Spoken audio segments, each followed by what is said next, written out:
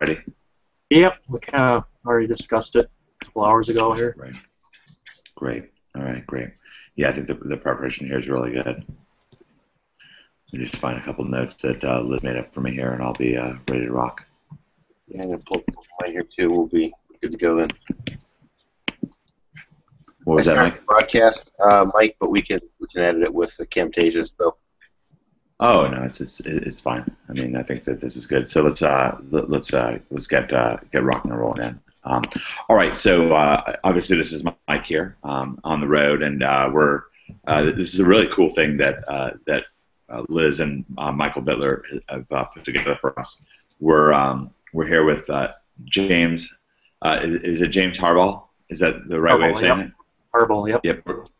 Uh, and and James is from uh, uh, uh, Keyword Inspector, and he has some uh, some other tools, the uh, Simple Keyword Inspector, and uh, kind of the more advanced version. And these are um, these are tools. Not, not a lot of people are using them in Amazon, but uh, but Liz uses them, and uh, so does uh, uh, so does Michael Bittler. And uh, this is going to give us like some some really uh, a really different perspective on things, different kinds of diagno- uh, diagnostics, uh, which is cool. Actually, Liz and I were just looking over Elite Serum um, and uh, some of the uh, keywords that are currently converting for us, and it'll let us do a, a few ideas about it. So, you know, Liz will uh, take us through that as we go along. Uh, Liz, um, how long have you been using uh, uh, uh, Jack's uh, wares here? Uh, I've been using uh, James Tool. I think it's Oh, probably James, going to be about. We, we, we- we have Jack Harvell and, and then uh, we have- Oh. we have James uh, uh, James, James Harvell. Uh, My my, uh, my total apologies. How long have you been using James uh, tools here? They're actually really similar names, though, if you think about it. James Harville. Yeah. Um, yeah. See, I just got it mixed up too. So never mind. Yeah. We won't talk about that. But I've been using uh, James's tools for. I want to say that it's probably since he started offering them. So maybe how long have you been offering them, James? Like nine, ten months, maybe a year. Uh, it's getting close to a year now. Probably yeah, nine, ten months. Okay, so I've been using them for the majority of those nine or ten months, and I can say that they're definitely incredibly useful, and I think they, they're that useful from the perspective of James is also an Amazon seller, so he gets things, and not just that, but um, I've met with James several times. I recently got to spend some time with him uh, down um, at an event that we were both at, and one of the real cool things about James is that he actually uh, also started the same way that I did, which is in the retail arbitrage game. And I feel that when you start from the retail arbitrage game, you have such a huge advantage because of some of the things that you actually um, get to learn. And I think Michael Bittler also started from that too. So I feel like you just have a huge advantage. And then add on top of that, like James' ability to kind of recognize that these tools are necessary for Amazon sellers. Uh, and that combination of all those things makes some of his tools like one of the most like necessary set of tools that I need uh, in order to operate Amazon. So the my favorite tool that he actually has is the simple keyword inspector. Uh, I do and, use and Liz, Liz, Yeah. Liz, can I get you back up for a second? Because Sure. I'm sure the people watching this are wondering, uh, what are the skills that you acquire in retail arbitrage? What are the perspectives that you gain that um, that, that are literally helping you have uh, uh, you know uh, kind of boost your success? What are some of the things that, that they need to know so that so they don't have to jump back into retail arbitrage to get the right kind of background they need to to have success your way? For starters, I believe it's really just the ability to operate within Seller Central uh, at a much better level than somebody that just starts off by wanting to sell their own private label items. Uh, but I feel that Mike and I have kind of already given people some insight as to what it takes to operate Seller Central from the back end. And the second thing, which is something that just comes with experience, and I'm pretty sure James and Michael will both agree on this, but it's just the ability to sort of be able to tell trends, and not just trends, but the ability to be able to tell what items are selling well already because you have experience selling other people's items and sort of just jump into categories that other people would never be able to tell unless they were actually already selling that item. So it's just sort of like an experience thing. And retail arbitrage people just sort of know a lot better tricks. Uh, in fact, to this day, I still hang out in a lot of retail arbitrage circles just because they're usually like on the, it's so strange. They're usually on the cutting edge, and they all sort of like curse the private label game. Uh, so they don't really know what realize what they're missing uh, because retail arbitrage is very hard work. hmm Yeah. So, so well, uh, from hearing you talk about it, I can really, I, I can uh, have a little bit more perspective as what what it is that led uh, James to uh, create this uh, the simple keyword inspector where we can get these scrapes and get an idea of the performance of various uh, products, you know, in terms of keyword by keyword. So I think this is going to be a really exciting event. Absolutely. All right, and uh, Mike, um, how do you? Uh, so, so, uh, so, actually, Liz. First of all, I cut you off. You were saying that, that your uh, the tool that you like the most is the the simple keyword inspector. Right. So that's the number one tool that I really use uh, that James does. And you know, I, I've also used the other ones, but I really haven't been able to dig as deep into them as I have uh, Keyword Inspector. Um, but I absolutely love that tool. I, I find it necessary not only for listing, but also to optimize my listing over the course of time. And I'm pretty sure James will go into some of those techniques as he uh, gets into kind of showing everyone how to use it. But that's certainly my two favorite spots to use um, that tool in. So I know that Mike, um, Michael Bitler also loves using them. So I, maybe you want to tell some people what tools you actually like to use, Michael. Yeah, definitely. You know, I mean, the thing about the key simple keyword inspector, I've known, you know, James Hardwell for you know about the, the same year that uh, the Liz has uh, worked with him.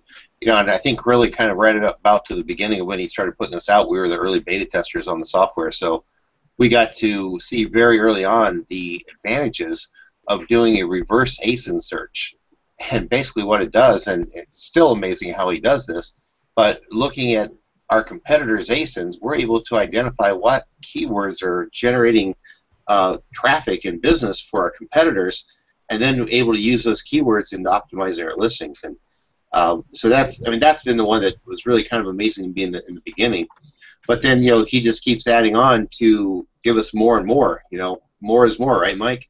So, you know, as we as we get into this, um, we start looking at more of the stuff that he's doing. He's put together, you know, coupon tracking tools and you know scarcity tools and uh, you know pay-per-click tracking. Uh, and one of the things that I really love is the real-time reports that he's been able to pull out of Amazon that haven't been able to find anywhere else. Things that include, you know, phone numbers of your customers so that you can start sorting those out by ASINs and customer types and demographics and start creating custom audiences for Facebook. And I've found that to be probably just incredible with the amount of data that he's been able to pull out of Amazon. And um, you know, he keeps coming up with more great stuff. So, you know, that's that's really kind of the exciting thing. He's probably one of the premier you know minds of coming up with these things and products that are needed well in advance of you know of when we're actually uh, you know before you even think you need it it's like wow okay that that's a pretty great tool how do you come up with that so um, Liz I think uh, Mike dropped off for a second so I'm going to toss right. it to you until uh, Mike comes back on Okay, cool. Well, I I find like ex- everything that you said is exactly the same uh, things that like I, I do. Like I love the reverse ASIN search, uh, which uh, was first introduced to me by actually watching one of James's videos when he was kind of introducing his tool. And one of the things that I did want to point out before I pass it over to you, James, is although your tool's really not like mainstream because a lot of people would not aren't haven't really been like allowed to talk about it on other sorts of forums and stuff. I feel that the top sellers or the people that take their Amazon business very seriously actually have come across your tool and begun to use it. Um, and so leading into your demonstration of what your tool does and, and all that good stuff, um, would you agree with what I say, uh, what I just said? Yeah, I think um, those that, that know are in the know are uh, kind of at the top of their game. I mean, not to toot my own horn, but you know, I'm. So yeah, absolutely. Um, so yeah, my name's James, and uh, I've been doing this uh, started retail arbitrage out of a garage, uh, selling my own stuff, and then garage sale stuff, and then slowly got into private label. And I found that you know I'm one of those guys that hates. I like to set it, forget it, and also like to automate stuff. So I find that if I can't find something that can automate it, um, I don't do it. So that's I know there's so many things out there I could be doing right now to make more money, but uh, just because it's not automated yet, uh, I don't do it. So um, on that note, I I've had I don't have actual real like background in programming, but I've dabbled in it before, and um, a quick study, I guess. So I just kind of took what I knew and and kind of just kind of just threw together this this tool. Um, that's I didn't really know exactly what I was going to do with it with the data I was collecting, but I, I kind of threw it all together and um, it turned out well. And basically, what what what this tool ended up doing is it's a reverse ASIN tool. What what that means is you uh, you can find all the keywords that uh, uh, a product or ASIN comes up under a, each all the keywords that it comes up under for the first page. Um, so that's that's basically what it does, and, and on top of that, I add my own little uh, my bit of algorithm and, and put a whole bunch of data points together, so that all this data I have, all this historical data, I kind of put it all into a, an algorithm, big long two two page query on a database, and it spits out this this cool uh, keyword list of keywords, uh, kind of arranged from best keyword to worst keyword. So, uh, do you want me to go into that now more, or do you? Yeah, we just got Mike Long back, so he's back. So, uh, Mike, James was just giving us a quick rundown of what his tool does. Um, James, do you think you'd rather just go over one of Mike's uh, spreadsheets, or did you want to show us one that you have prepared? Um, we can go over Mike's since his is ready to go here. Great. Sure. And uh, kind of what I've done here is I've actually shown uh, actually like four different competitors ASINs. Uh, I did a search for uh, insoles for kids, and you can see up here at the top the uh, the search that I did. And you know, so if I had done the search insoles for kids, these would have been the top products that came back on that search. And so uh, James, why don't you go ahead and if you want to uh, kind of take over, you kind of tell them what we did with it. Mike, is there any way for us to zoom in on that because it's it's it's pretty small for me as I'm looking at it here. We, we can. Um, we will lose some of the some of the data off to the right, but we can uh, we can always scroll. Okay, great. Thanks. We'll, we'll kind of start there, and then we can kind of scroll through it a little bit. Great. Should I kind of backtrack a little and show kind of a little bit of the front end of the tool and Yeah, why don't, you do that? I'll, I'll turn that over to you. If you want to take uh, one of these ASINs, for instance, you can probably uh, put that into the in the box, and then we'll have those results there right away. So if you want to do your screen share, James, we can uh, we can kind of show them how we got there. Yeah, hopefully it works here. I, sometimes I have problems sharing my 4K screen. Huh. uh, you see it? Yep, we got it. Okay, let me zoom in here. Yeah, lots of zooming is good. So uh, it's uh, tools available at simple.keywordinspector.com, and then it'll take you to the main page. And uh, basically, uh, I've got it set up as a credit system for searches. Um, and right down here, right on the home page, you just you stick in an ASIN or a bunch of ASINs. Um, and I'll we'll, I guess we'll probably go through how to find an ASIN if you guys don't know that. But you stick them in here, so like yeah, Michael's ASIN in here, however many as you want to to do, and then um, you click you uh, click a search type, and I'll go through that too. Um, but you click search, and then it'll it'll in the background it'll it'll pull up all this all this data for you, all the keywords that it, this comes up under um, and then it'll send an email out when it's ready to ready for you to view. Um, so down here you click whatever you want, simple or uh, extensive. Uh, simple are usually just good for like if you want to find your your ASIN's page ranks for the first page. Um, that's what it's best for. So that's basically good for any ASIN. But when you're really doing some like deep dive research for a product that you're going to sell um, you want to use the extensive search to get that, that ranking that ranking of the keywords um, based on my algorithm and my data points. So um, again, you just type in search, go down here. We'll just do simple, and then um, it'll do that. And then down here, uh, we can do a click on search history, and I know I, I realize this uh, site looks really uh, old and dilapidated, but I'm just not a front end developer. I'm a whole I'm a back end developer, so I haven't had the I haven't taken the time to really pretty this up. But I, I promise you, it works good. I haven't really had any problems with people like not being able to use it. So I'm slowly gonna be working on the, I think- front end. But so I think anybody watching this right now just wants uh, how it looks. what's that? Oh, I said I think anybody watching this just wants to use it to make money. Yeah, So, so, uh, as long That's kind of my thought. That's why I didn't really put a lot of time and effort into the front end. But um, so Yeah. um, this is some extra stuff here that doesn't really show up in uh, regular users thing, but right uh, looks like it's already done. So right here, we go to this, and then um, here. So this this was just a simple search, so that's why it took uh, only took a few seconds. Um, but it because I got the database um, of everything. So this this brings up like uh, just uh, the first page results. Um, so like for this this ASIN, it came up uh, first uh, in the first position on the first page for this for this one and this one and this one and, and actually kind of backtrack to how my how my thing works. It it actually I'm scraping the the Amazon suggestion bar like constantly using like a like I don't know, I'm just using a certain way of scraping it so that I get as many keywords as I can from it every every day basically. And from all that database of I think it's over 20 million, maybe 25 million by now keywords that I've got, all Amazon uh, customer buy queries.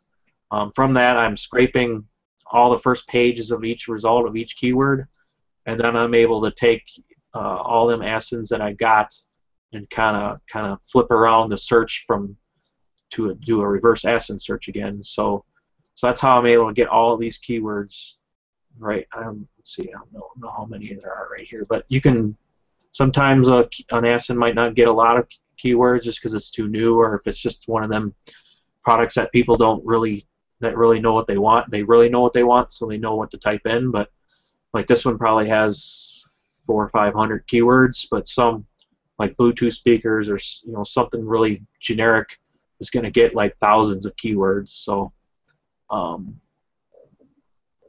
again, this is just a simple search, so it gives you all the all the, the page rankings, and uh, this data is is updated around seven days. Every seven days, it's updated. Um, so uh, it goes through 25, 20 million plus keywords like once every week to get you fresh data. Um, So Okay. James, um, I, I'm Yep. just gonna interrupt here for a minute. So how would people? Because I know we got a lot of people that are brand new. Yeah. How would people actually use this sort of information to help them? Like, what what's your what would you advise them to use this information for? So this this this uh, information is good for two things. One for your product listing creation and optimization of your titles and your uh, and your search term fields, and your also you want to put in use as many of the keywords you can in, in your uh, your descriptions and your uh, your bullet points, even though Amazon doesn't really take from that when they're making searches, uh, relevant searches and stuff. So um, it's good for that. It's also good for Amazon uh, pay-per-click advertising because a lot of I found uh, through some of my newer tools that I've been working on that you know it's maybe 10 to 10 to 30 percent of the keywords that come up here aren't actually advertised on by by anybody. Now that's a kind of a rough number. I haven't really went into the analysis of it, but so you could use a lot of these keywords for PPC and probably not have very much of any competition, and you'll probably get some, clicks and sales out of it just from using it that way. So let, Um, me, let me just kind of repeat what you just said. Are you telling us that 70 to 90 percent of these keywords that people are searching for, nobody is doing any kind of sponsored ads? no, it's like ten. I think I said ten to thirty percent. So That that actually are, meaning there's like 70 to 90 percent that aren't that aren't. Sorry. available with nobody on them at all. No, you. I think you heard me. It, that's flipped around. Okay. Like it's like ten to thirty that aren't being advertised on. Um, And that's, that's, kind of a rough number right now, but I'm working on getting a better number. But yeah, so it's pretty crazy. Um, again, for for product research, it's good just to see kind of see like because there's some some products are kind of brand dominated. You can kind of tell that by doing just a few searches. So let's say you go to the Amazon new releases or uh, high release top sellers. If you go there and find a product you want to sell, um,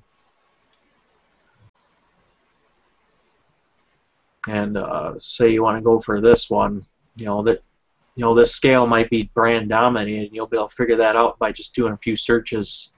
Um, even though you know some products might will show up on some brand searches and some won't, you can kind of gauge that way uh, as far as that. But also you can kind of figure out you know what people are using to search, and then uh, you want to stick them in your titles because that's basically the title is what Amazon pulls from for the most part. Sorry, to uh, create their uh, their their the query the lists of products that come up for a search keyword. So.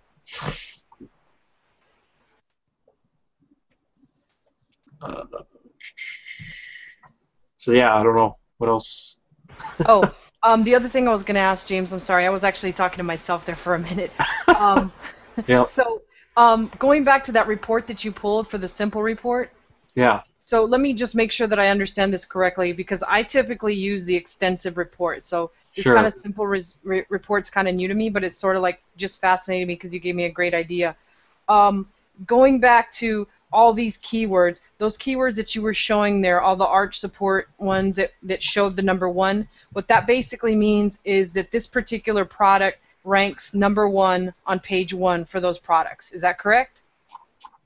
Hold on. Say it again. So if you go back to the simple report, Yep. what it's saying is that that particular product that we just did the simple uh, scrape of, the I guess it's the Kidzerts, is that? Oh no, it was the one pair flat feet, whatever it was. So what this report says um, is that this particular product ranks number one on page one for all these words that are number Right. one. Okay. Yep. In this in this column, that's what that's what data gives you, is the page rank. So the other place where this is actually useful is if people are tracking their page position or their uh, page one position, what words they rank on page one. Would that be correct if I said that? Yeah, that? it's it's kind of a it's not like a daily thing because it uh, you know my back end is scraping like once every week, so it's kind of a weekly data report.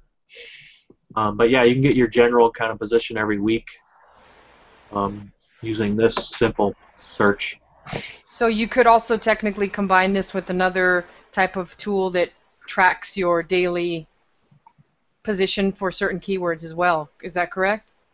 Yeah, if you uh, yep Okay. Yep. If you're if you wanted to actually go through that trouble and all that. Yeah. And then here are the extensive search. Um, I'll go through that quick here. So there was 558 uh, keywords that came up. For, so with the the difference with the extensive search, it still gives you the the position of the the page position of the key, of the keyword for that ASIN. But what this extensive does, it, it actually ranks it based on a bunch of data points I have. Um, it gives you kind of the best to worst um, for this ASIN that the keywords you should go for possibly for this type of product. Um, so I just want to take a look at it quick what it is, just for my. So there's foot menders, uh, kids orthotics thing. Um, so it kind of sorts it from best to worst. How people are basically how people are finding it, um, and and buying it. Um, there's a lot of factors that, that that are considered, but for the most part, that's what it is. Is that like this one? Most people are using this term to buy this product, and um, and then the next one is they're actually using the, the brand to find the product. So there's kind of a clue as to um, how uh, how uh, how this brand is doing on Amazon. So if they're how entrenched they are in their position on Amazon, I guess. If that comes up higher, then you're This that brand is not even the brand for that uh, for that product. yeah, it's Find a product after searching on a brand name, they're coming over to this product, which is pretty fascinating. That that's the second most uh, relevant keyword for them. So yeah, it's it's uh, down here on the kind of past past the kids' zerts, but it's still on that page. is pretty crazy. So yeah, um, so here's the rank right here that I give it, best to worst. So way at the bottom here, you'll find some errant kind of keywords that don't really necessarily work, but cups five year old, um, which is kind of weird. But so the lower that keyword gets on this list, the kind of the least concerned you should be with it, but it's still kind of there for you. Um, uh, so then I also give you this this extra thing here where it takes all the words from all these keywords, kind of makes them, and then puts a rank on them on how they come up. So flat came up first, feet, and then shoes and kids zerts, and then shoe, and then inserts for kids, and then it kind of gets rid of all the duplicates, and it just shows it how they come up first. And these are good for, so all this is good for your optimization again. So you'll probably want to get this near your beginning of your product title um, and then obviously you can't put this in your product title, but you could put this in your uh, in your search terms fields to get that kind of ranking for that if you want to go for that. Um, you don't have to, but and you'll kind of want to get these kind of we discussed this. Yeah, there's also other places you can get those keywords in. You can get them in uh, your questions. You can get them in your Yeah. uh, reviews, like all that kind of stuff. It's it, you know if they're valuable for you, it's great to grab them. Yep. Yeah, all these are definitely going to be valuable for you. Just going to you got to put them in the right place. Right. Oh. So one more question for you, James. Yeah. I know you briefly touched on like this particular example where you've got kidzerts at the top. Um, what do you have you seen instances where you've got like the top 10 spots are all brand like all are their brand name in particular? What does that if anything mean about a certain product? Does that mean they have a pretty good opportunity to go for keywords other than their own brand name? If they're already getting like Um, sales? I'm not sure exactly what you're meaning, but I've I've seen them where there's, there's been a lot of brands near the top. That just means it's people are really using the brand name versus the generic title, you know, generic type of product it is to find that product. So, you know, that might not be a product you want to go for, or yeah, it might it might be maybe. Um, if, if I'm the actual seller, then it's probably a good thing, and it Yeah. means that I need I need to more to bring in more keywords other than my own brand name, right? Is that Yeah, because you're already kind of dominating the brand, so you should be going after the ones you aren't, you know, dominating yet. So, yeah, okay? Yeah. And so, oh, go ahead, Mike.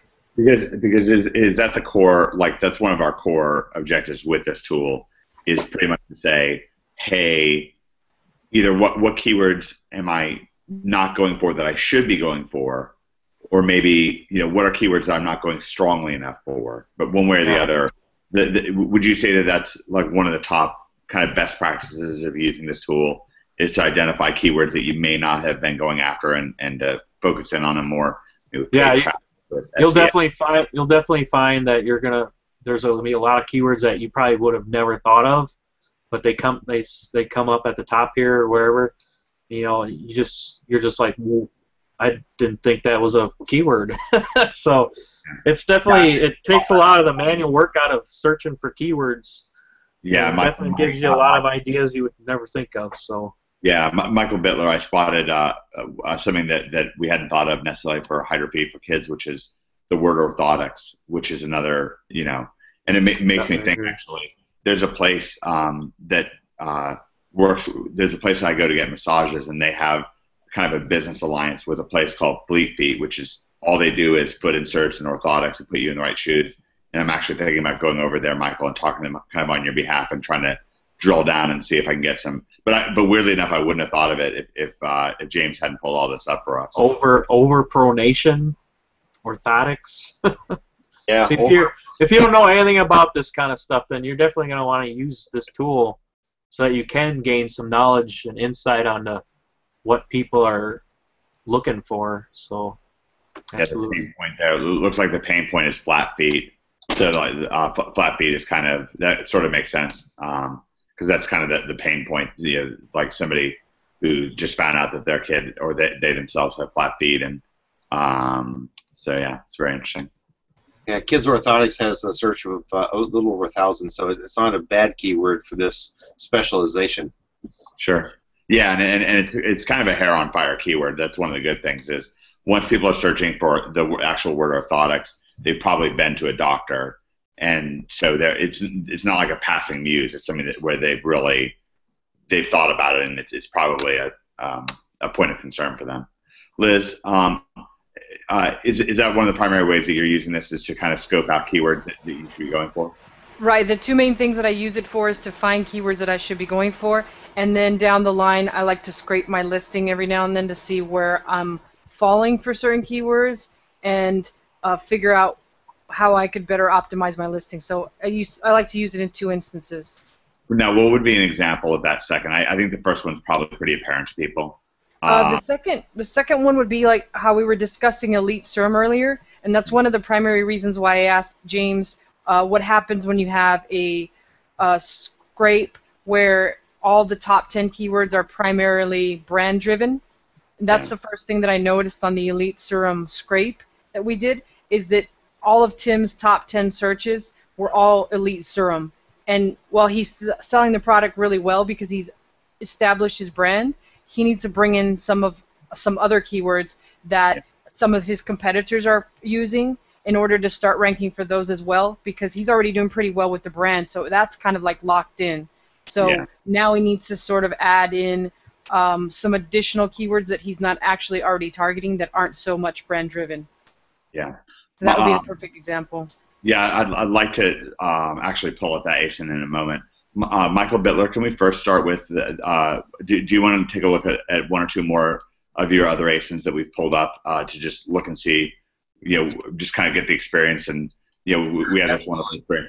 What's that? Yeah. In fact, uh, James, if you want to uh, click on the link I just put in the uh, chat box for you, that uh, link is actually uh, a Google Sheet that I actually have here that's um, got like the top four or five competitors for HydraFeet Kids and Kids uh, Search. So kind of takes the first one that we see there and this uh, particular document. Um, if you can pull that up, James, the uh, the bottom link. Uh, basically, what that does is that does take those top competitors and what we did with the CSV files that you know you showed James showed you the online version. He has a, uh, a comma separated value text file that basically I take those files and I put them all into one sheet, and then I kind of set them up side by side and, and document what the product was, so I can kind of make a comparison on what some of those top keywords are. Uh, And, and Michael, what did you do to set these up side by side? Was it uh, pretty complex? Did you do that yourself, or d- does the product already output this way? that's just a cut and paste. You know, I open up a file. You download to CSV, and then you open it up, and then here it brings up the. Um, one of these days I got to do this in within the tool, but this is kind of Michael Bittler's uh, extra processing method of it. So you just kind of copy everything, or actually you can just kind of use this first one, and then you, you keep doing this for each ASIN, and then you just kind of stick them next to each other. Uh, where'd that one go?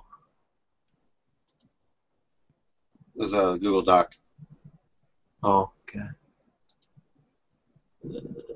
Yeah, and for, a moment, if somebody's destroying because you can't see data, none of us can see it. It's just more conceptual at this point where Yeah. you're highlighting. So you, you drag across the top of the column. Yeah, exactly. So this is how.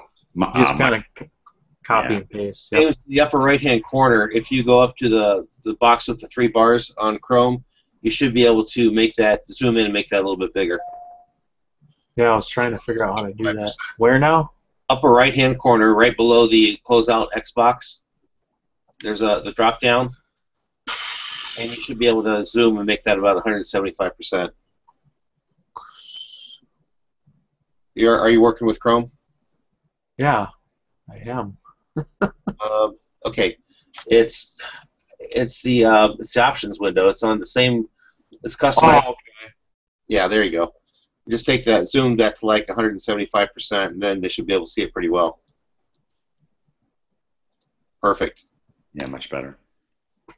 All right, great. And, and so just to quickly review what Mike did to make this sheet sort of side by side, just for people who don't know how to use Excel, is w- what you just saw uh, James doing, which is he highlighted the first one, two, three, four, five, six fields, just clicking and dragging across to the top, and then he would just hit a Control C, and then you know to the right of that, drop it in, you know, c- uh, Control V. If that makes sense. So he's showing you right now how that would work. Just, just, just real simple cut and paste. Yeah. Yeah, and again, if you don't know how Excel works, it, it- there's tons of um, that, that was just a quick idea. And also, you don't even necessarily have to set things up this way, but but you can watch, you know, Excel. We, we don't want to exactly turn this into, into an Excel tutorial uh, or a, uh, but you can also use Microsoft uh, or uh, Sun Systems Open Office for this. Okay, great. So, Mike, uh, you're stacking these up side by side, and w- what are we? Uh, uh, why are you doing that? This is how you uh, do some product research. I, I'm looking for some commonalities here. I'm looking for commonalities and outliers. Okay, so what I'm trying to find out is, you know, flat feet shoes. You know, that was what generated the most volume for foot minders. But you know, what are the other commonalities? So like arch uh, foot minders, archangels, and kidzerts all were you know really responsible for um, you know for most of these sales, even for the off brands. So that's going to kind of tell me kidzerts probably is one of the keywords that we want to have in, in our back end. We're not necessarily going to put it in our title or our you know product because it's it's a brand name, but we are going to go back and put that probably in our search terms box so that we show up under uh, kidzerts when that comes up as well. And again, we can certainly just to kind of point it out to people, we can certainly sneak those keywords into um, strategically into reviews and into uh, questions, to, so we can still uh, possibly show up for them in the search a little better. Exactly. So you know, from there, I'm going to look for I'm going to look for those commonalities. I'm, I'm also going to look for the outliers. I'm going to look for uh, things that you know should make sense for my product. You know, uh, flat feet shoes is probably probably going to be a pretty decent one. It's it's top one for foot minders. We probably want to show up somewhere for that keyword. Now, if the keyword's not extremely relevant to my specific product, but I still want to show up, I'm going to put those words that we want to rank for, that we want to come up in the keyword search.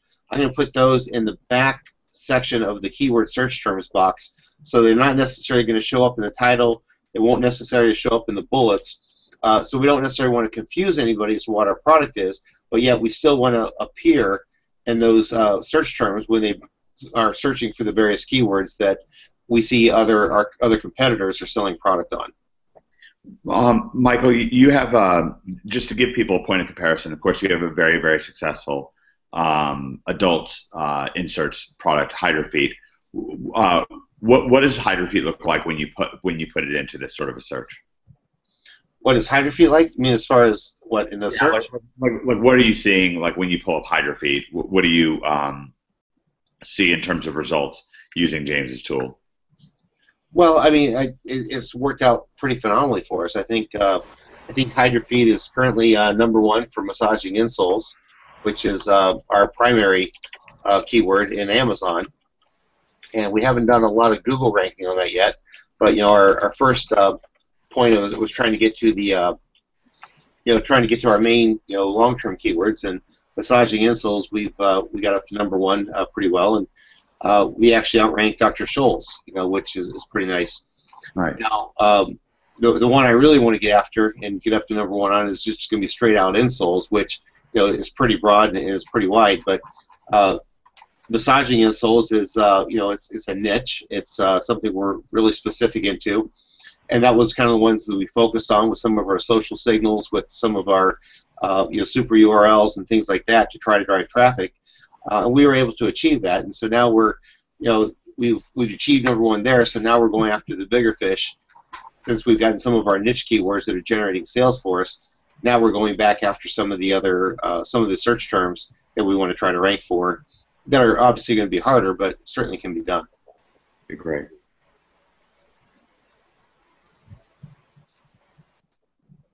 All right, great. So, uh, do, do we want to go back to that uh, spreadsheet? And by, and by the way, J- James, are you searching for something in, in particular that, that you saw, or uh, just a little bit brainstorming there?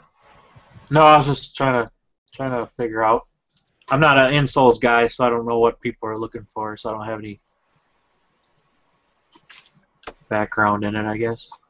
Yeah, just trying to get a lay of the land there. Yeah. Um, so, okay, great. So, we're, we're seeing uh, a comparative right now between Footminders and Archangels.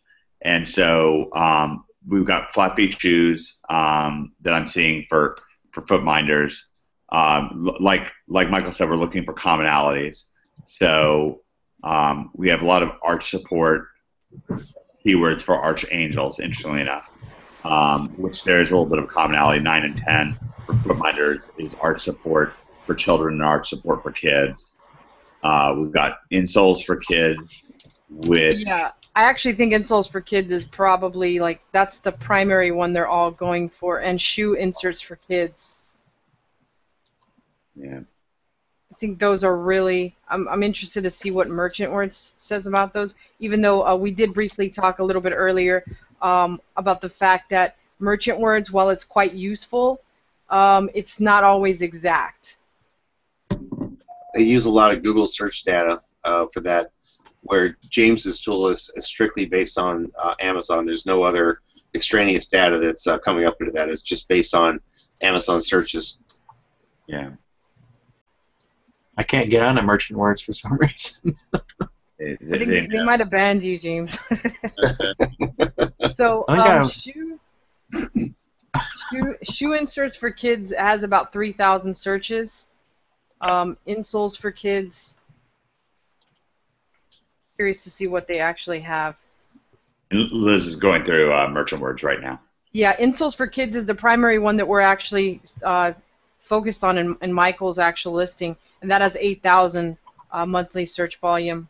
Uh, Michael, do you recall what the second word was that has the 5,500? Do you see that anywhere? Uh, that's Among support for kids is uh, got about 5,500. Arch, so, so Archangels has it at number four.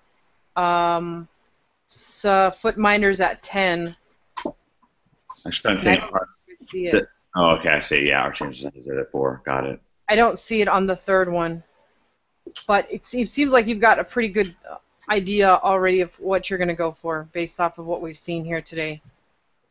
Yeah, I think we, we've uh, we've kind of you know this is kind of the process we went through in identifying what the uh, the various keywords were that we wanted to put together at least for the title, and you know certainly the the two most relevant there uh, that we found from Merchant Words, insoles for kids and arch support for kids, certainly are showing up in Amazon as is, is uh, definitely words we want to use.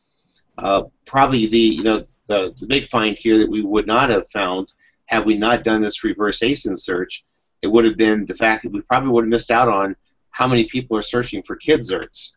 And so, you know, one of the things that really made a lot of sense to me when, uh, you know, James and I started talking about the, the benefit of doing um, this reverse ASIN search is how do you do keyword search if you don't know what the keywords are?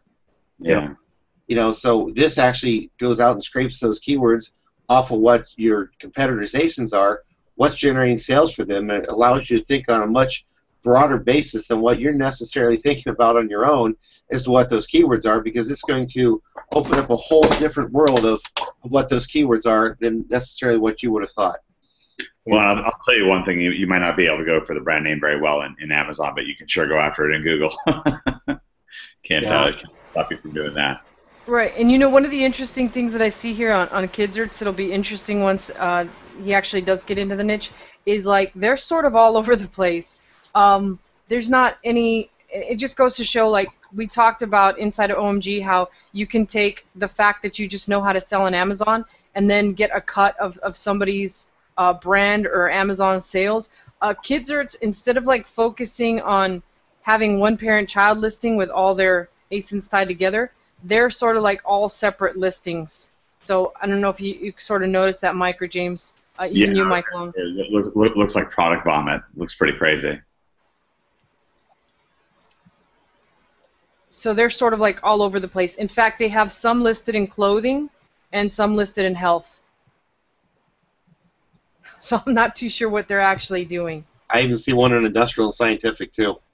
Yeah, so it's it's sort of like Mike said, it's like product vomit. It's all over the place. So this is exactly. I know that there's people were saying, well, you know, I'm not interested in selling on Amazon. You don't have to be to actually realize that you can make a lot of money doing this if you just learn kind of the intricacies like inside, and that's sort of what James is teaching you here today. Yeah, these best practices. Um, do uh, uh, why, why don't we pull up um, the ASIN for um, for lead serum? Uh, just Sure. to Okay. another perspective. Uh, can you do this one more uh, thing that Mike's gonna put in here, James? What's that? Uh, can you run a, a search on this one that he's gonna? Yeah, it's that Yeah, top we- one right there. right, so that- Top one. Yeah. That's the one.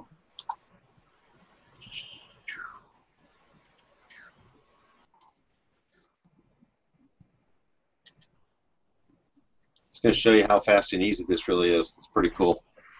And this is the one that I actually told you about, James, where it's like all the top 10 keywords are like brand driven. Okay. Except for there's one there's one that's not. Yeah, or Geraldine uh, eye serum or something.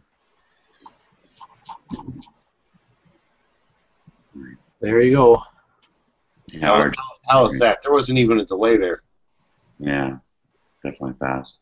So it looks yeah. like all the top 17 are 16 are the brand except for one. Yeah, two, I think. Two. But- but okay. yeah. Very, but very few. Yeah. So James, uh, just quick question to you: What if if this was like a product that you were looking at in terms of the keyword research? What would you do to get it uh, ranked a little bit better in terms of keyword keyword wise? Um, what would I do? Without knowing. I'll, I, I, I, Much if I better, can jump in Geraldine. on that, I'll, kind of help uh, bail James out a little bit. You know, if you go to the top of that category, uh, we're in eye serums, right? Yep. So why not start with the keyword eye serums and let's see what comes up? Okay, so uh, you would go uh, broad, that broad. I, I would because what we're trying to find out is we want to try to find out what some of the top sellers are, and so we we put in eye serum, and the, the first three all say eye serum. They all have eye serum right there in their title. So I would grab all three of those ASINs for all three of those brands. I would throw them into Keyword Inspector, and then run those searches, run those CSVs, and then put them side by side, and we'll see exactly what's popping up for these guys, and we'll find start to find out what are they selling it on, what are their keywords. You know, we we take iSerum being pretty broad, but this is this now will tell us who those competitors are and where they're generating their sales from. So I, Yeah. I think we'll see as he puts those in, we're going to start to get really enlightened as to what those keywords are. It's like we said, if we don't know what those keywords are already, it's kind of hard to do that research, and that's why the reverse engineering of these ASINs it comes so uh, absolutely handy. Acid caffeine. How's that?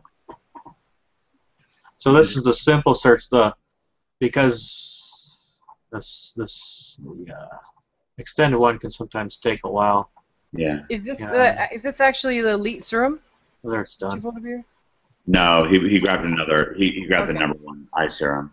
Bags under eyes treatment, puffy eyes, Yeah. dermagist. under what, eye what's dark dermagist? brand, I'm guessing.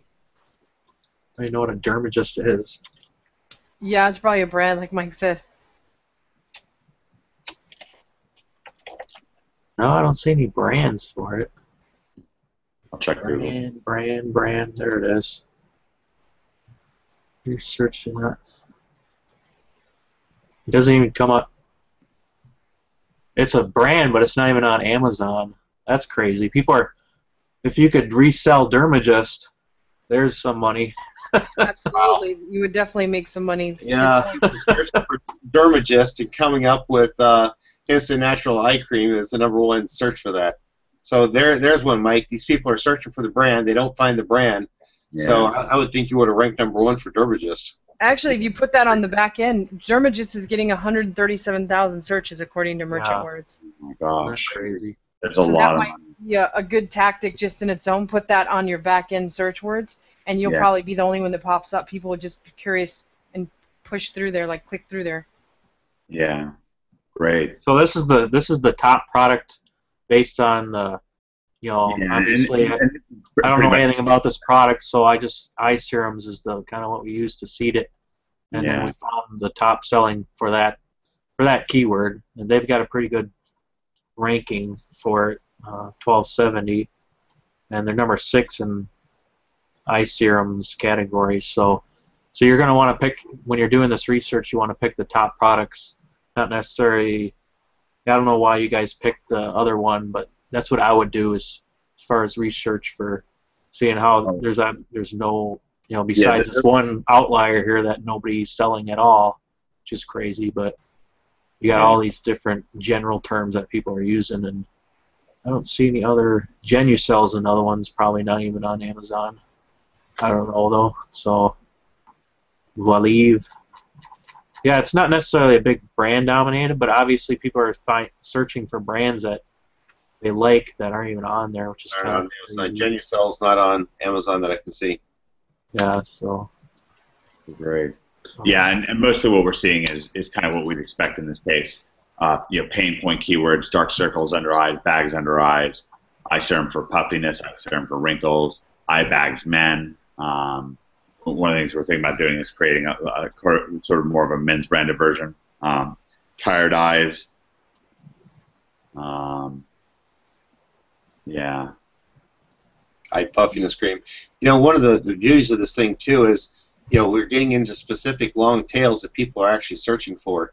And you know, even a difference in an S, you know, cream or creams is going to give you different search results and, and different rankings. So while they may come up, you know, if you can get specific into those specific long tails, you know, you're going to grab a lot more, uh, a lot more of those. The beauty of, of James' system, while we may not be able to cram all four, five hundred, six hundred, we might even have a thousand here, different keywords that can be ranked for. You know, the thing is, you want to get the most important, maybe the top 10 or 15 long tails that you possibly can right into your listings, either into your product tile, into your bullets, or into your keyword search terms. But then the you're not going to be able to get all thousand long tails. But this is where the second part of James's uh, software comes in, and this is where he's taking the unique words. Because Amazon claims, and whether it's totally accurate or not, Amazon claims that if you have any combination of those words in your keyword search terms box, your title, your uh, manufacturer, or your brand, that that will uh, show up in, in search suggest. And so, like the words you would want to have, starting up at the very top, James has you see bags, bags under eyes treatment. Okay, so you want to make sure somewhere you have those four keywords.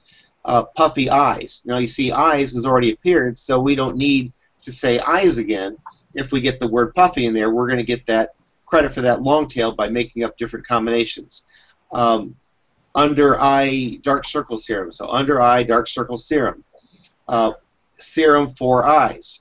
Okay, we've already said eyes, so we don't need to say eyes again, but then eye shows up.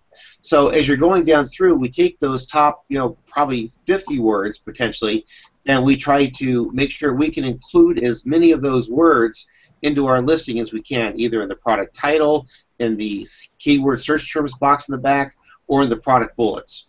Because if those combinations, just having the word C in there, you know, if we, we wanted to go for vitamin C and we don't have the word C, the letter C by itself, that's we won't make up that search term, and we're probably not going to show up uh, or rank for it if we don't actually use those keywords somewhere in the listing. So the uniqueness of uh, getting rid of the duplicates of the words is going to allow us to make up some combination of those keywords, even though they're not necessarily going to be long tail in the right order, which is preferred. But since we can't get all those words in, we want, you know, as long tails, we want to get those words in individually somewhere in that uh, either in the title, in the search terms box, or you know, second choice, third choice is probably the the bullets. We'll still bring up a little bit. Great. So, does anybody else have any questions for James uh, before he starts going on and showing us like some of the other exciting things he's working on? Like one of the things that I'm definitely looking forward to is the PPC tool. Yeah, let's let's see the PPC tool, James. That sounds great. All right, so um, been working on this for a little over a month here. Let's see. It'll be basically on the same site, um, but it'll just be under maybe we're adtracker.keywordinspector.com. I'm not sure yet, but so it'll kind of use the same front end as far as adding. Uh, we'll go to that here. I'll use kind of the same front end. It'll just have a little extra once I get it kind of implemented. You'll stick all the keywords in here. Um, so don't worry about that. Let's see here. You stick in all the keywords you want to start tracking for the ads, and you'll stick them in here, and then um, you can uh, name your search, advertise, and then um, uh, what this search was doing, it's basically it's using the right now I'll be using the mobile uh, the mobile search results. Uh, you get you know two ads per at the bottom of each search, but it's kind of if you go on a regular desktop, the most of the searches usually line up as far as like the ones on the right side at the top. Uh, when you do a search right here, they kind of most of the time they kind of line up with the ones down here. You know, the first two probably match. Let's see here. So yeah, that one, and then they kind of they change all the time, so it's not really necessarily exact science, but um, so I'll show you that. But you'll be able to search a bunch of different, you know, as many ads as you want, up to however many ads, because I found some some keywords produce like hundreds of ads, so it's just you just can't scrape all that stuff. So uh, you know, do that, and then you can do like a daily or hourly search if you want to kind of fine tune how many times you want to put it on a graph type of thing. But and then you can uh, just kind of put in ASIN you want to search, but it'll, you'll still be able to get all the data that comes up through it. So I'll show you that here. So once you do that search, the, the system will go out and start searching those those uh, those keywords that you put in there, and uh, so I've got a bunch of searches that I've done. Uh, I haven't done like any of the ones that you guys have been looking at HydraFeet or anything, but I'll go into this this portable speakers thing. So let's see here. So this came out. I did a, like a 24 hour per hour type of search with a bunch of key 500 keywords. James, can you make that a little bit bigger on your Yeah. screen? To like 150 or something like that. Perfect. So, you know, I got a bunch of different things here. Um, but basically, I did like a search every hour for 24 hours, and uh,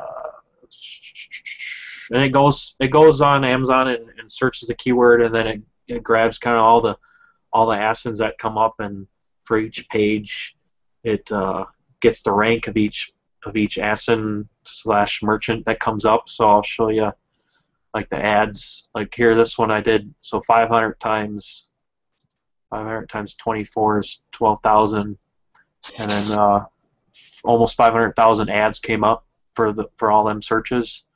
So uh, I've got some graphing features, and then some you can get all, basically grab all the data for that for that uh, search if you want to, on a, and do whatever you want with it in your thing. I've also got some extra data that I'll show you here. Um, so here it's, it's kind of interesting um, when I started doing this that when I when I within the within the page they have a within the kind of ad the script they have it actually gives a suggested department for that keyword which is kind of interesting. I haven't really figured out why but like every keyword has like a suggested department so I don't know how to kind of analyze that but it's kind of interesting. And then you got uh, put the images on here and then the product titles ASIN then here you got the position that it came up for that search. You know what page? Basically it's kind of two per page so um, and then I've got here if, if say like a keyword didn't produce any ads this would be like a one right here. And then say um, say you were searching up to 50 ads per keyword and it only grab only was able to grab 40 this will have like a last ad thing. So you know that that maybe that, that keyword doesn't have as much competition you'll be able to figure that out if that keyword had, doesn't have much competition and then here's the merchant that was actually you know, producing that ad, paying for that ad. And then I've got some extra data here. Um, so I've actually got sales rank data. Um, it's not real-time sales rank data, but it's kind of basically within the past seven days or so. It kind of utilizes the keyword search tools data, and then um, gives you a rank, a rating based off the reviews. Um, this reviews is like real-time when it was when it was scraped for the ad, and then this is also real-time. I think that's real time. The price of it, um, and then also it gives you uh, the number of offers for, for that ASIN. Um, you know, obviously you can't have more than one. You can't really have more than one offer for a merchant, but it's for it's based off the the ASIN, not the merchant. So, and if it was a prime prime uh, product, so you you can see how much data you can get from all this, and I'm sure you guys are more into PPC than I am, so I'm sure you could utilize this a lot better than me. So um, we'll go back to the ad searches and put up a graph here. So what this thing is good for is to, to actually track and graph your uh, graph everything. So I'm going to go to uh, search ASIN counts. So this will kind of kind of lump all the ASINs together into one per ad. So again, you got a little more data here. Actually, just from the same thing. So you can actually sort this by, say, number of times that that asset was displayed within the, for the ads. So right here, this as particular asset was displayed, you know, 6,000 out of out of a half a million times the most of anywhere else. So um, which is pretty crazy. So obviously that one's a that merchant is really pushing that that ASIN. So click the graph, and then here's where kind of the graphing begins. Uh, sorry, I think I think it messes up when I zoom in. Let's see what it does here. Let me see if I zoom up, eh, out and then zoom in again. There we go. So here um, I've got the rankings for every hour of the search of that, that the position of that ASIN within the keyword search. So here this one kind of went down, up and down, and uh, here up, down. So there's the graphing feature of it. What um, do these dramatic swings mean, uh, James? What's that? What do these dramatic swings mean? So like like I saw one where it was really high and then it dropped a lot. What does that mean? Um, so like right here, it, it started. At, I noticed that I haven't really dived into this yet. I've been doing more of the programming and bugs stuff than actually looking at the data yet. But I think since most of what I've seen is that it's happened where it was at like 12 a.m. I think they kind of right here maybe they, uh, you know, ran out or or their budget budget turned back on or off type of thing. Yeah. Um, so I don't know. This seems reversed. That's at midnight, and then they run out of money pretty much by uh, before noon. Well, they like they had money, and then they ran out at midnight. That's what it looks like to me. And then it slowly they went back to the position two versus ten, and then you know again they they started to go back up. So. So I, I guess like where this can become really useful is like to somebody that's newer and they say I don't have the money to spend uh, hundreds of dollars a day on PPC, they could actually go and analyze their competitors and figure out if there's any point where their budgets run out, and then turn their PPC on at that moment. Yeah. Would you agree? Yeah, they they could cheaply, like almost cheaply, run PPC. And it looks like the trend is that a lot of people's ad budget runs out around midnight. Exactly. Yeah. Uh, so that's one thing. The other, the, the primary thing that we want to look for with um, well, or one one of the big opportunities, uh, just traditionally, with being able to track advertisements, and it can be really powerful, is the traditional idea is that if somebody is advertising day after day, week after week, it's because they're making money with it. Right, right. So, a that can be first of all, you can reverse engineer it and say, hey, there's money to be made with this product. You know, so you can use this as actually as a product research tool. Interestingly enough, uh, products that you may want to go into, um, and uh, and you know, be you know like whose listing is converting, right? You know, presumably this is going to give you an idea of whose listing is converting on paid traffic, so you can uh, glean some insight from that as well. Is, is that what you're thinking, Liz?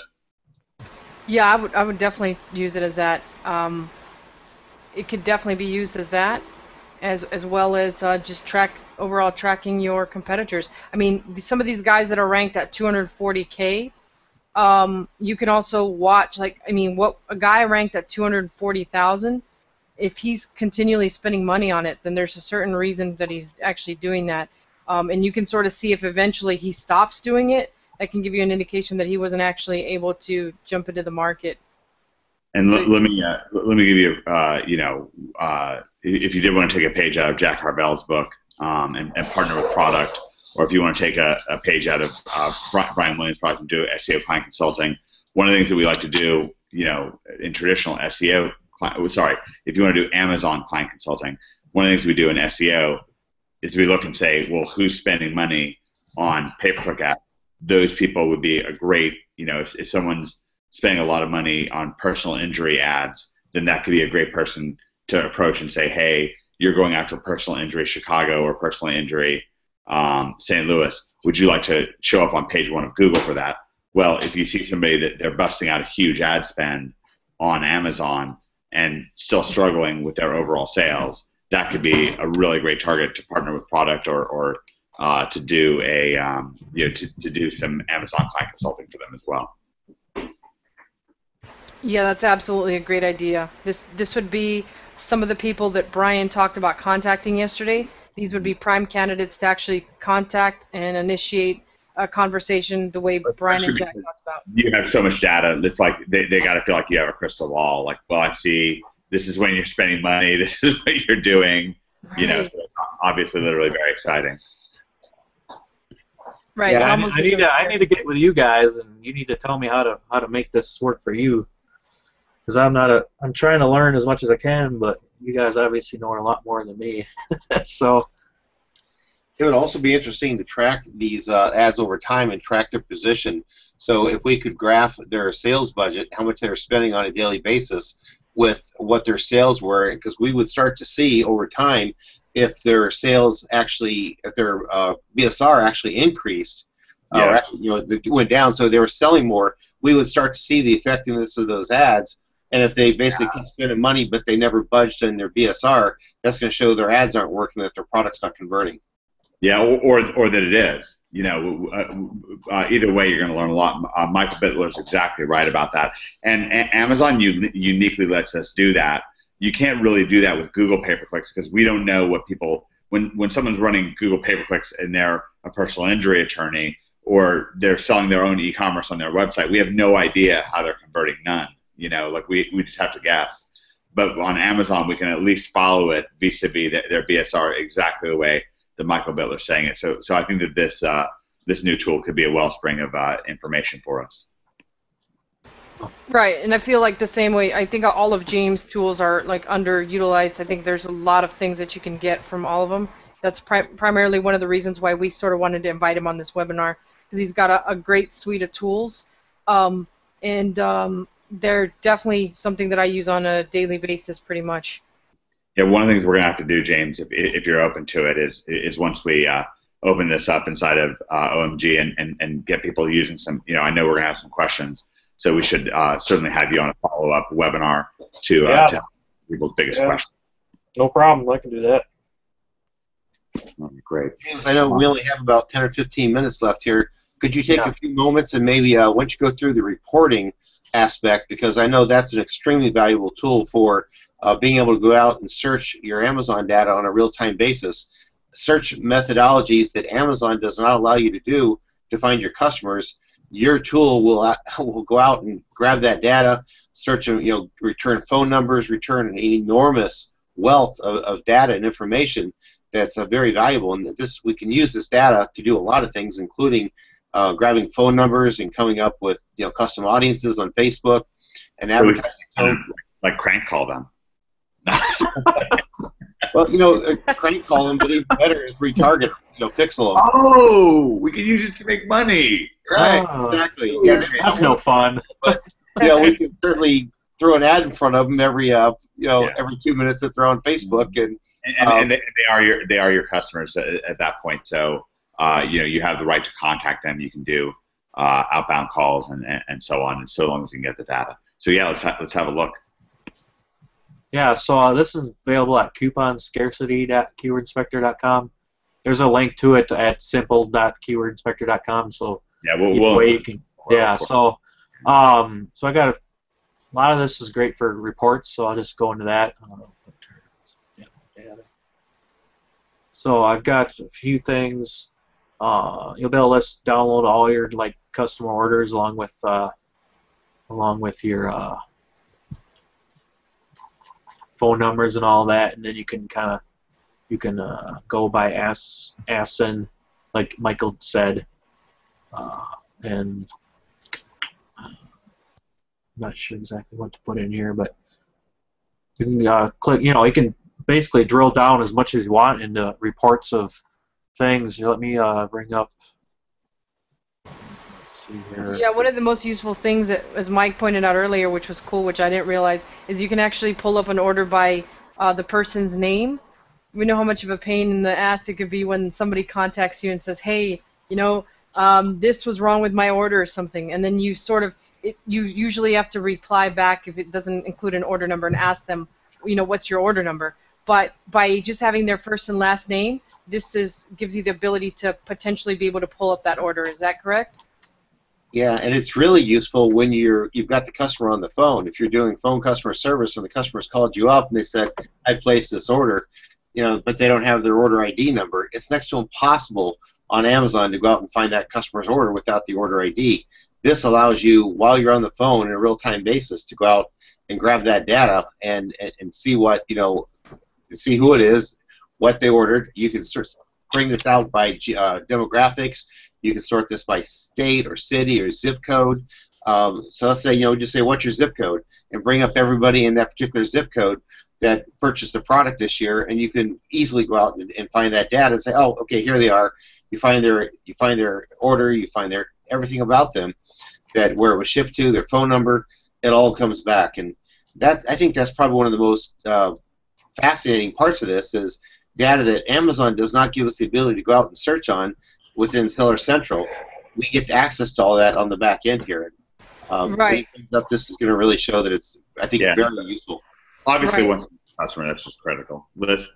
Yeah, it's sort of like what we were talking about earlier. When you actually want to take the time to actually call your customers, if s- there's some people that actually still do that, um, I know for a fact I use a service to do that for me, but you can actually take the time to call them yourself. It's a pain in the butt to really actually go and get that phone number. You have to go through several clicks, and if you're having a VA have to do it or anything, it takes some time. Whereas uh, with James's tool here, uh, from my understanding, you can just download that information into a CSV, and then if you want to be like really ninja about it, you can load those uh, phone numbers into a custom audience on Facebook and run ads to those people if you want to for like a follow-up purchase for a coupon or, or something like that.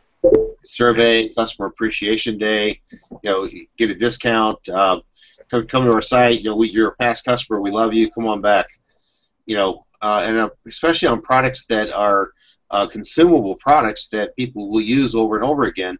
Uh, having repeat customers is your lifeblood. So if you can get them to come back a month or two months later, whatever your time frame is that they may have used up the product and they're ready to reorder, then that's a great opportunity for you to start going out there and uh, you know do a custom audience and start hitting them, get them out to your um, you know get them out to your landing page, you know put a pixel them, retarget them, and uh, you know start to get them on your list. Yeah, this is this is really exciting, and and uh, probably the most exciting thing about this, uh, Liz and Michael, is that that you because you guys know the landscape of sellers a lot. You guys do a lot of networking. Most sellers have no idea about this stuff. I mean, by far. I mean, uh, Liz, out of out of ten sellers, how many people do you think know about the, these tools, or you, you know even how to get this data?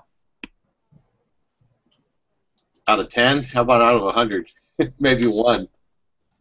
Liz, do you think that that's? Do you agree with that? Liz, you may be muted. Oops, yeah, I'm muted. I'm talking to myself. Um, I would agree that it's it's very few that actually use this. They're sort of like doing everything by hand, which again we know takes time, or they they're just not sort of like in the know. You know, like personally for me, I don't have really a, a ton of time to be combing like message boards and, and looking for the the next new thing or anything like that. So I sort of have to get like almost hang out with the right people in order to, for them to tell me like, hey, have you checked this out? So I would imagine there's quite a bit of people like me, and then there's a lot of new people that just don't know what to use and are sort of like even scared to get a product going. So yeah, I would probably have to agree that it's quite low. The number is. Yeah, and and then and then obviously any sort of corporation or, or, or small business that's not even dialed into these small internet market communities like OMG, there's no chance. They have no idea. Yeah. Ab- yeah, absolutely. There's probably several people that aren't that aren't like the biggest brand, but they have a pretty good brand following. Uh, but they don't know how to break into Amazon, and they wouldn't know the first thing about how to sell their products on Amazon. It's a whole new ball game. Just because they have a lot of uh, social following and, and you know e-commerce stores that do pretty decent, that doesn't guarantee success on Amazon. Now, obviously, with uh, with, with uh, Keyword Inspector, uh, with, with with this tool uh, for the seller coupon and scarcity tool, uh, you, you of course have tutorial videos on how this works. Uh, uh, is that is that correct, James? Yeah, I've got some uh, some that go through most of it. I I gotta update some of them and all that, obviously, but um, and I'm kind of going through. I've got you know more than seventy thousand orders that my mine's going through. That's why it's kind of going slow, but um, so Yeah, but you use this tool yourself, so that's kind of yeah, news for the uh, good news for our uh, for for our, for our crowd here. Right, and I think the super important part again is is the fact that James is actually creating these tools and he's a seller. So he's got all that experience. He sort of knows what's needed, and that's kind of how he started creating the tools because he needs to automate his own stuff. So I think that's really key uh, versus having somebody that you know is kind of like um, he's It's been the in the retail arbitrage game. Yes, not, Right. not guru selling a product that's often a disaster. Right. Uh, He's he's been in the game since retail arbitrage. So yeah, I don't know what else you guys wanna see. Yeah, I think since we're kind of like limited on time, Yeah. um, we could definitely have James on for to show a couple like the coupon tool that that is also in there, and I think there's one other one, isn't there, Michael? Uh, the coupon tool and also the scarcity tool. Yeah, and Okay. now, now that we've introduced it, uh, probably what we'll wind up doing is just our own back-end videos for this. Like, like I'm, I'm kind of realizing it's probably just the better thing for us to do is create our own training on it, or maybe work with James on that and, on, on a different occasion. But this is a, a really tremendous introduction, and I, I know that I, I I know that you know once again people are at home. Uh, Mi- Michael just you know just uh, standing up and cheering. Um, you know, you know if, they, if they didn't know about this stuff, even if they knew about some of James's tools, but not all the applications of it and so forth. So I think this is going to be great news. Thank you so much, Liz and Michael, for, for bringing James to us. Thanks for having me. Awesome, great. Yeah, James, thank you very much. It's it's been awesome. Loved having you on. You know, you're uh, a great seller first, but uh, also uh, probably one of the smartest programmers as far as identifying what we need. I think before most people even realize that they need it. You know, you're kind of meeting that need before most people even realize that there's a need out there. So when they figure it out that okay, wouldn't it be great if there was a tool that does this? You're already going to have all that up there and ready for them, and that's really just fascinating. And then um, we're uh, I guess you we're gonna do like a special for you guys too. Did you guys want to talk about that? You, yeah, we, we, we love to hear about specials. We'll- Yeah, so we'll Yes. try and get that worked out, but uh, uh, you'll probably get like uh, extra credits or um, I've actually got for the keyword inspector. There's a kind of a better front end with with some keyword actual tracking, like daily tracking of stats, uh, keyword positions, and BSRs. Uh, we'll have a coupon for that. Oops, that's not what I want for the, if you go to keywordinspector.com without the simple or the coupon scarcity as a subdomain, um, I'll have a coupon for this or a bunch of coupons for the different levels of pricing. But this kind of has it has all it has uh, the keyword uh, simple keyword inspectors uh, attached to it and kind of puts it all together. But if you just want to do you know get down and dirty real quick, you can do the simple search um, but yeah, we'll get those to you, and I'm sure you'll post them along with these videos, or uh, you know, with the replays of these videos. So Yes, it's, sound uh, good. it's very exciting for people. Right, super awesome. Thank you, James. That was awesome. Thank you. James, I'm really excited about this relationship. We look forward to doing a lot of business. Yeah. Thanks, James. God bless you guys. Good night, everybody.